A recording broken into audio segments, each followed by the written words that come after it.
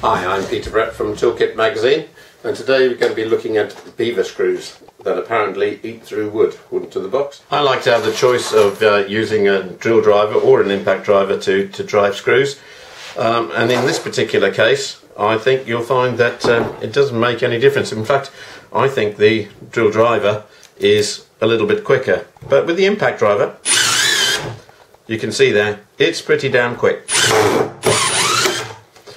and uh, at the risk of going through into my desktop.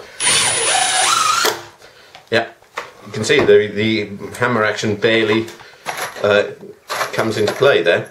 Here using a, a, a combi drill it's as quick. Notice the completely easy start it just goes st straight in. And I did try it on some very hard teeth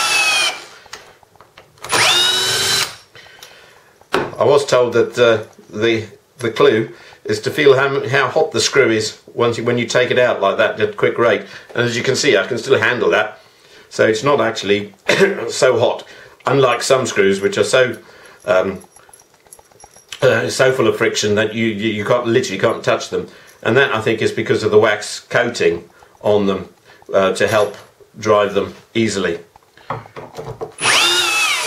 Another thing that's important to me because you can't always avoid